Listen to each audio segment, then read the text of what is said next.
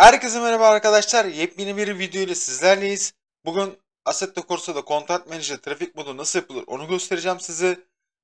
Hızlıca videomuza geçelim.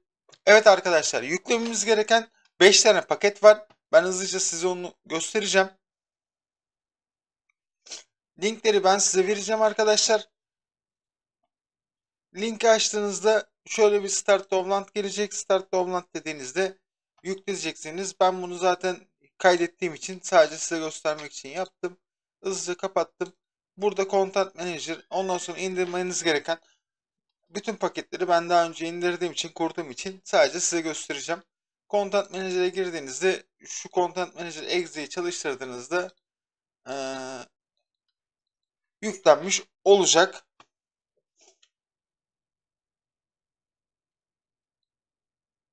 Evet arkadaşlar Content Manager'ımızı yükledik.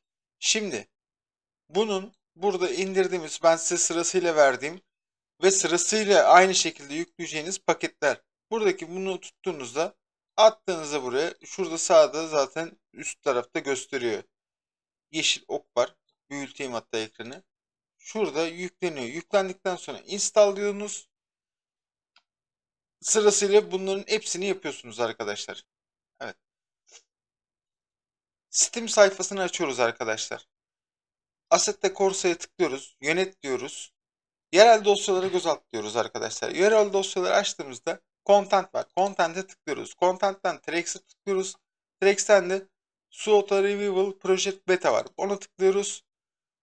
Bizim yüklediğimiz trafik modu şu anda C Sibaro PA trafik modu arkadaşlar. Buradan onu açıyoruz. E dosyası var. Bunu kopyala yapıyoruz.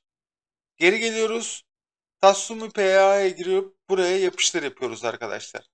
Çünkü yani o ilk harita iki şeritli harita olduğu için yani onu orada yapamıyoruz arkadaşlar. Bilginiz olsun. Şimdi buradan da setting'e geliyoruz.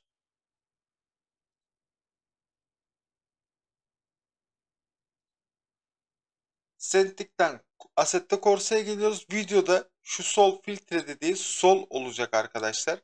Yani bu başka bir şeyse bunu yapabilirsiniz. Sol yapın. Çünkü öteki türlü açmayacaktır. Custom şeyde pek var. Ona geldiğinizde şu altta Bitter FX var. Bitter FX'e tıklıyoruz. Bu sol 2.4 oluyor. Bu da sol olacak şekilde ayarladınız arkadaşlar. Ondan sonra tekrardan Content Manager'e Content Manager'de bu kadar işiniz var arkadaşlar. Drive'a tıklayalım. Buradan Drive'a tıkladığımızda harita seçimini göstereyim ben size. Burada Stock PA var. Onu seçtikten sonra ee, şurada haritalarımız var. Bunu istediğiniz haritada yani istediğiniz şeyde yani trafik modunu yüklemek çok kolay o söylediğim haritayla. Yani EA dosyasını hangi haritada istiyorsanız onu atıp orada da yapabilirsiniz arkadaşlar. Burada bunu seçiyoruz. OK diyoruz. Ee, bir şey daha göstereceğim size. Content'e tıkladık. Yok Setting'e tıkladık. Gene Custom Save Pack'e tıkladık. Burada yüklememiz gereken paket arkadaşlar 1.79. Geri yani recommended yazan bütün sürümler oluyor ama bu unstated şey unstated olan unstated olan yani şu yeni güncellemeler olmuyor arkadaşlar. Ben bunu 1.79'da denedim. Oluyor. Diğer paketlerde de denedim. Hiçbirinde olmuyor arkadaşlar. Bu bilginiz olsun. Yani yok en güncel sürümü yükleyin şey yapın diyen olursa kesinlikle inanmayın arkadaşlar. Bu burası bu kadar. Ondan sonra Drive'e geldik. Haritamızı seçtik. Aracımızı seçiyoruz. Kafamıza göre seçip buradan renkleri de yapıyoruz. İsterseniz ileride şey de yapabilirim size. Ee, nasıl araba modu yüklenir, nasıl yeni arabalar paketler eklenir onu da yardımcı olurum. Arkadaşlar bu offset stake dediği %100 olacak. Bu custom olacak. Buradan zaten bu 39 olmasının sebebi şurada göstereyim hemen. Şurada trafik yazan, başında trafik olan bütün araçları trafik moduna ekliyoruz. Yani hangi aracı istiyorsanız yüklüyorsunuz arkadaşlar. Ben 39 tane yükleyebildim. Burada sınırlı zaten. Altta da zaten ünlem veriyor. Hani bu kadar yükleyemezsin diye. Ondan sonra bu options actions şey olacak. Sıfır olacak. Ya çok rahat edersiniz böyle. Evet. Burada da hava durumu, saati vesaire bunlar var arkadaşlar. Yani bununla ilgili başka burada yapacağımız bir şey kalmadı. Burada ünlem işareti çıkabilir. O hiçbir şey önemli değil. Buradan go diyoruz.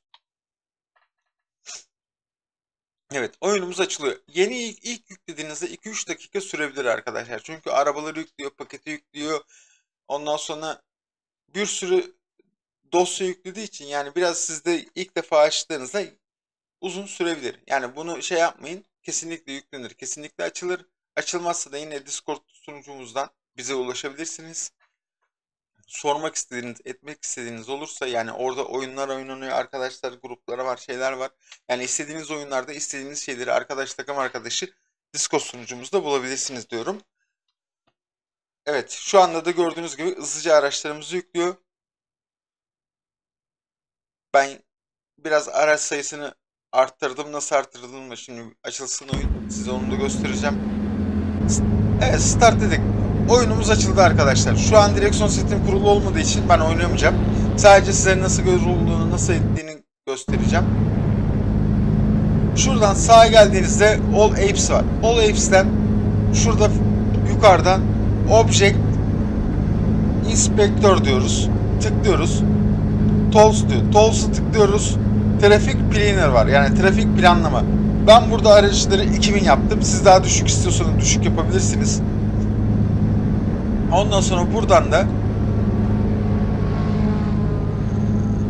hani aç kapat yaparsanız biraz daha iyi olur. Ondan sonra buradan araçların mesela hızını şeyini ayarlayabiliyorsunuz arkadaşlar. Kaç kilometre hızla gitsinler etsinler de. Yani bunlar tamamen size kalmış bir şey. Kurulumumuz bu şekilde arkadaşlar. Umarım videoyu beğenmişsinizdir. Başka bir oyunda görüşmek üzere. Kendinize iyi bakın. Hoşçakalın. Sormak istediğiniz sorular da olursa lütfen Discord sunucumuzda bize sorabilirsiniz. Videoyu buraya kadar beğendiyseniz beğenip like atmayı, abone olmayı unutmayın. Kendinize iyi bakın. Hoşçakalın. Bay bay.